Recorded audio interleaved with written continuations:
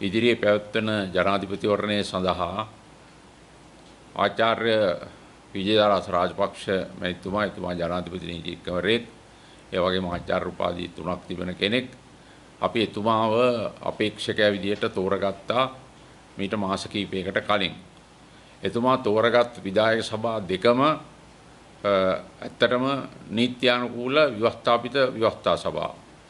එවිට මේ ප්‍රධාන වශයෙන් මම සඳහන් කරන්න ඕන එතුමාව තෝරගන්නකොට මම මුල් එතුමා වැඩබලන සභා විදියට පත් කරගත්ත වෙලාවෙත් අපි නීත්‍යානුකූල කැඳේ වෙලාවේ පක්ෂයේ ලේකම්වරයා විදියට හිටියේ දුෂ්මන්ත මිත්‍රපාල මන්ත්‍රීතුමා. මම සභාපතිවරයා විදියට හිටියේ. ඒ නිසා ඊටාම නීත්‍යානුකූල විධායක සභාවකින් තමයි එතුමාව පක්ෂයේ සභාපතිවරයා විදියට මම ඉල්ලාස් වෙලා එතුමාව පත් කරගෙන ජනාධිපති අපේක්ෂකයා විදියට විධායක සභාවෙන් එතුමාව යෝජනා ඉස්තර කරගත්තේ කිසිම කෙනෙකුගේ විරෝධයක් ඇති වුණේ නැහැ. ඒ වගේම කියන්නට ඕන සමහර අය කියනවා එතුමා මේ ශ්‍රී ලංකා නිදහස් පක්ෂයේ කෙනෙක් නෙවෙයි කොහෙන්ද පිටින් ආපු කෙනෙක් කියලා කියනවා. මම බොහොම පැහැදිලිව කියන්න ඕන විජේදාස රාජපක්ෂ මහත්තයා ශ්‍රී ලංකා නිදහස් පක්ෂයේ වැඩ කරන කාලයේ ඔය එහෙම කියන අය මං හිතන්නේ සමහර අය ඉපදිලත් නැතුව ඇති. ඒ මොකද වණ්ඩාරනායක මැතිණිගේ ප්‍රජාහිතය අහෝසි වෙච්ච වෙලාවේ තරුණ නීතිඥයෙක් විදියට විජේදාස රාජපක්ෂ මහත්මයා එදා බණ්ඩාරනායක මැතිණිය වෙනුවෙන් ඒ නඩුවලට පෙනී හිටපු නීතිඥවරයෙක්. ඉතින් ඒ වගේම සමහර අය කියනවා එතුමාට පක්ෂයේ සමාජිකත්වයේ නැහැ කියලා. ඇත්තෙන්ම විජේදාස රාජපක්ෂ මහත්මයාට පක්ෂයේ සමාජිකත්වයේ ගත්තේ විධායක සභාවෙන් සභා විදුරියට පත් වෙන්න මාසයකට පෙර එතුමා අපෙන් සභාව ගත්තේ සමාජිකත්වයේ ගත්තේ ශ්‍රී ලංකා නිදහස් පක්ෂයේ. ඒක නිසා එතුමාට ශ්‍රී ලංකා නිදහස් පක්ෂයේ සමාජිකත්වයේ තියෙනවා පක්ෂ ඉතිහාසයක් තියෙනවා. අනිත් එක එතුමා ශ්‍රී ලංකා නිදහස් පක්ෂයේ ඉඳලා මහින්ද රාජපක්ෂ මහත්මයාගේ කාලේ 2006 2007 කාලේ පාර්ලිමේන්තුවේ රාජ්‍ය ගෙනුකාරක සභාව තුලින් ආණ්ඩුවේ හොර මැර වැරදි දූෂණ වංචා හිල් කරා කියලා එතුමාව අස්කෙරුවා ගෙනුකාරක සභාවේ සභාපතිතුමෙන් ඒ වෙලාවේ එතුමාගේ විපක්ෂේ වාඩි වුණා වෙන කර හැකි දෙයක් නැහැ ඒ වගේම ඊට පස්සේ මගේ ආණ්ඩුව කාලෙත් විශේෂයෙන්ම රනිල් වික්‍රමසිංහ මහත්තයා සමග ඇතිවෙච්ච යම් මතවාදයක් නිසා එතුමා ඇමති ධූරයෙන් අස් කළා. රනිල් වික්‍රමසිංහ මහත්මයා ඒ වෙලාවේ කරපු දැඩි ඉල්ලීමක් සහ නිර්දේශයක් සහ මා විතේපු ලියුමක් අනුව මම එදා ඒක කැමැත්තෙන් නෙවෙයි කළේ.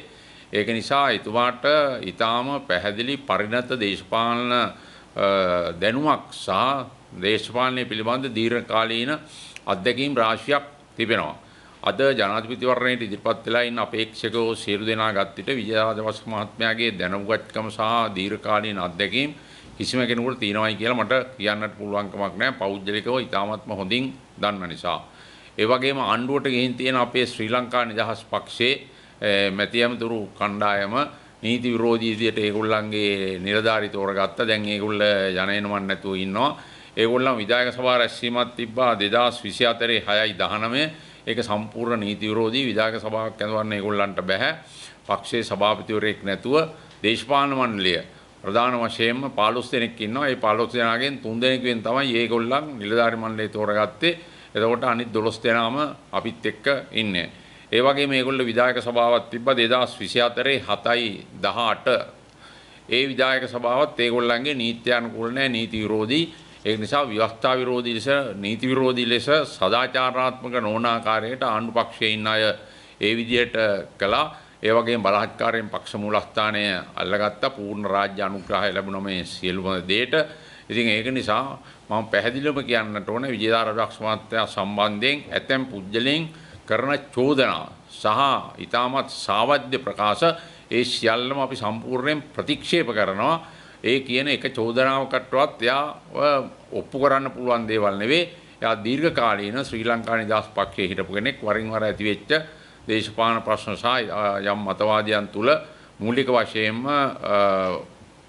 රට වෙනුවෙන් සහ පක්ෂය වෙනුවෙන් කෙලින් හිටපු කෙනෙක් විදිහට එතුමාව සමහර ආණ්ඩු වලින් එළියට දැම්ම අපේ ආණ්ඩුව වලනොත් එදා මහින්ද රාජපක්ෂ මහත්තයාත් ඊට පස්සේ රනිල් වික්‍රමසිංහ මහත්තයාත්. මේක තමයි ඇත්ත తත්වය මම මේ කාරණාව කෙටියෙන් පැහැදිලි කිරීමටයි මේ ප්‍රවෘත්ති සාකච්ඡාව තිබ්බේ.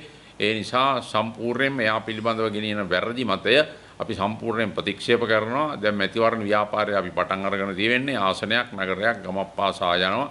ඊළ අපි මැතිවරණ ව්‍යාපාරයේ ශක්තිමත් කරලා ආචාර්ය ජනාධිපති නීතිඥ විජේරාජ රාජපක්ෂ මැතිතුමා මේ රටේ මීළඟ ජනාධිපතිවරයා කිරීම සඳහා අද ලොකු උනන්දුවක් බොහෝ වංශවල තිබෙනවා. ඒව තව එළියට ඇවිල්ලා නැහැ. ඒක නිසා තව සතියක් හමාරක් යනකොට කාටත් මේ සම්බන්ධයෙන් පෙනෙයි.